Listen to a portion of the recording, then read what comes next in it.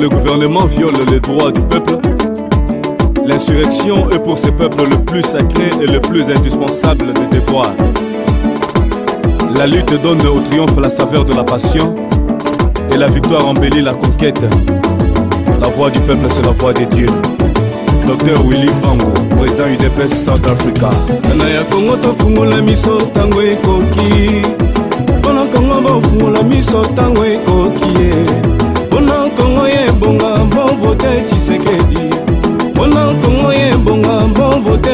sekendi ye wa molumba wili cilengi valentin mobakiongo mobimba tofungola miso ntango ekoki ana ya kongo tofungola miso ntango ekoki ye mpona kongo ye bonga tovote cici mpona kongo ye bonga tovote cisekedi ye wa molumba nazwa likelele polobila kufa lisusu nzala te eh? ebongi eza na moto ya mayele bokonzi ebongi alinga pepe na ye bokonzi ebongi azala kongole 100 heureusement nzambe akomi mikolo kote ya idps bokonzi ebongi azala moto ya mayele bokonzi ebongi alinga pepe na ye bokonzi ebongi azala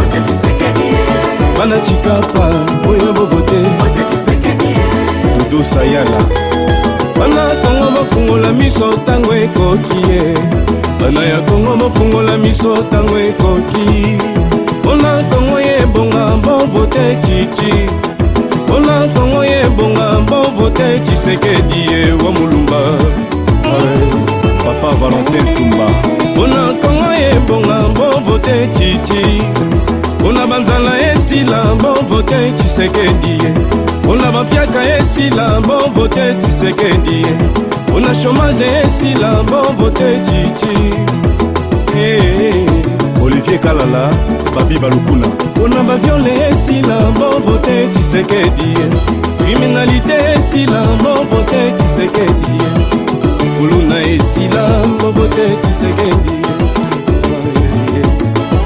bana kongo bana kongo bana kongo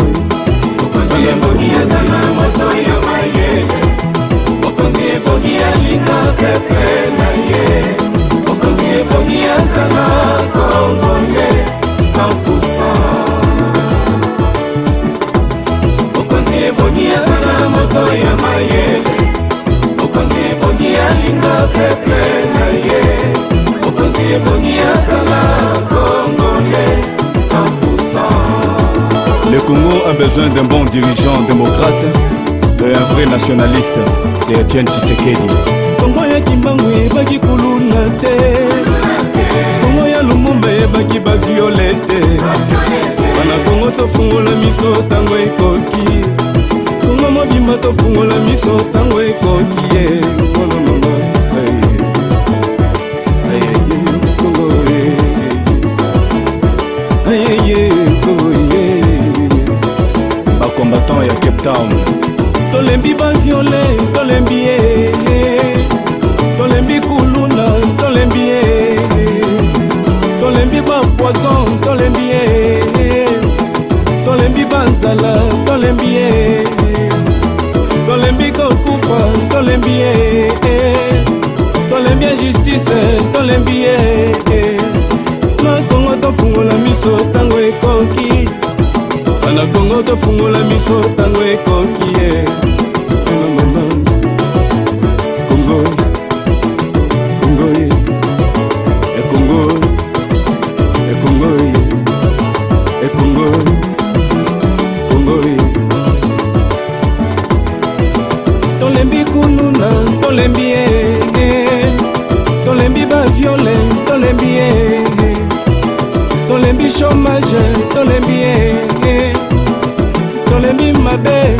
bien. Eh, eh.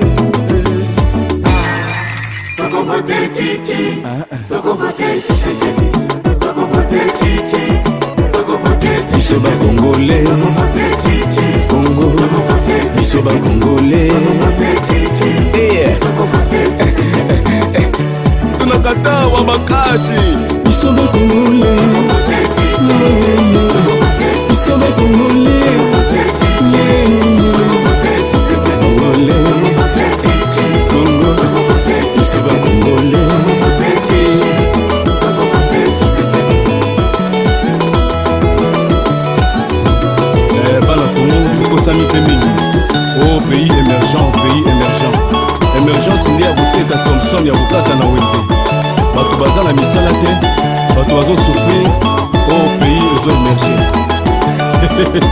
emergence nde yango wana emergence ya koluna na baviole bataxi moto babiloko toyebaka te na kongo bafonctionnaire bazosouffrir bauniversitaire bakóma koyela baplace na wenze bakosa bino te roger lumbala gabriel mokia egene diomindongala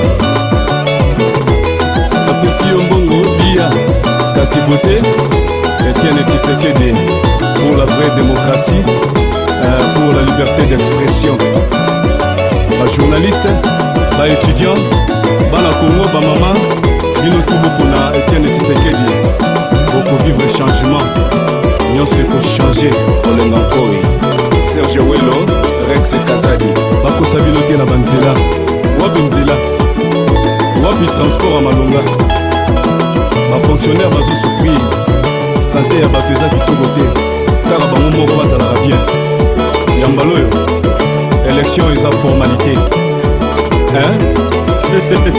rayon archibishop Coutinho fernando merci papi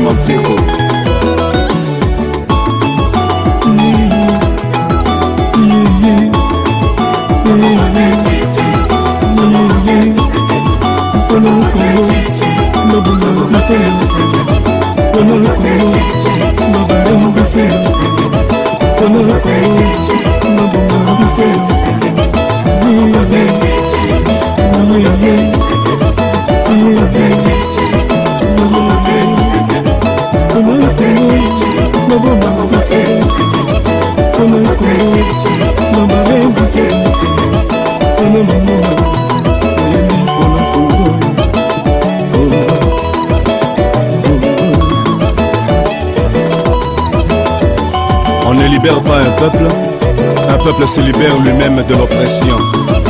La violence au milieu du peuple qui lutte pour son bien-être n'est pas violence, mais la justice. bacombattant europe ya amerike na ya afrike deduke bamosusu baza na bango na susi ya mboka te na susi ya peuple te bayebi kaka mpona mbongo me biso après le 6 décembre batriche élection batriche te ya biso président etienne tshisekedi peuple congolais oyo eza occasion nepara te soki torate occasion oyo tokozela ti yesu akozonga po ye moko ya kokata makambo ngo